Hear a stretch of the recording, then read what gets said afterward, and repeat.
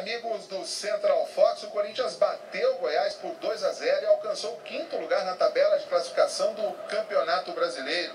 34 mil torcedores compareceram aqui à Arena. Corinthians alcança, assim, sete jogos de invencibilidade depois da Copa América. São cinco vitórias e dois empates. Um bom momento do time dirigido por Carilli. Ah, é cedo para falar em título ainda. Acho que a gente tem que pensar jogo a jogo, né, como a gente vem fazendo. É, sabemos que o Campeonato Brasileiro muitas vezes se define na, nas últimas rodadas.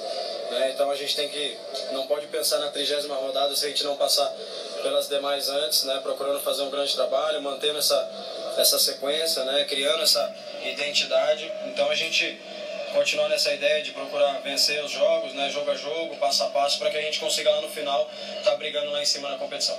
Júnior Urso fez o primeiro, batendo de primeira de dentro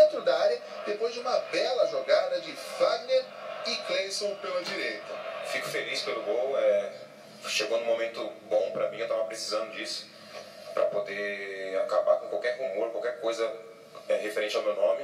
A equipe realmente me abraçou ali por outras, outras circunstâncias, né? É, às vezes se cria algumas coisas que não existem. É, falaram algumas coisas sobre mim, ou até mesmo questionaram é, o meu desempenho algumas vezes. E muitas das pessoas que falam, que de repente se acham expert no futebol, não conseguem ver algumas funções que a gente tem que cumprir dentro de campo. Né? Às vezes a gente tem que fazer coisas que o nosso chefe manda, que no caso é meu treinador. Impedimento no lance, intervalo vencendo por 1 a 0, mas o Goiás botou uma bola na trave.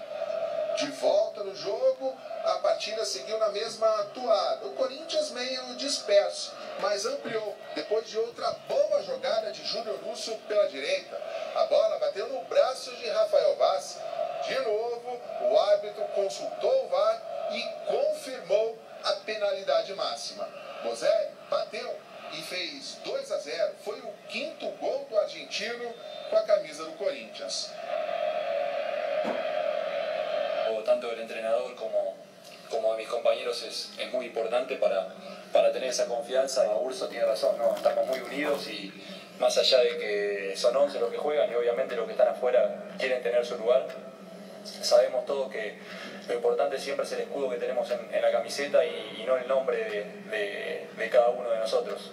Y en cuanto a lo que puse ayer en, las redes sociales, es más que nada para aclarar un montón de situaciones que, me daban como jugador ya de otros equipos, especialmente eh, Boca, que es un club que yo quiero mucho, que tengo mucho cariño y, tengo mucha gente conocida ya.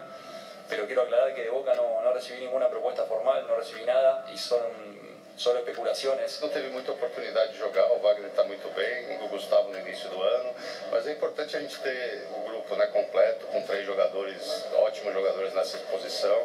O ano passado a gente não tinha nenhum centroavante, são muitos jogos. O Goiás teve um jogador expulso.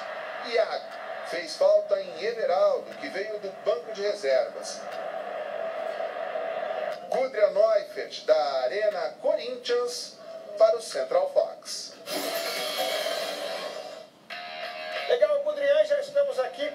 Carlos Eugênio Simon na sala do Bar Fox. Simon, boa noite para você. O que, que teve de arbitragem nesse jogo para a gente ver?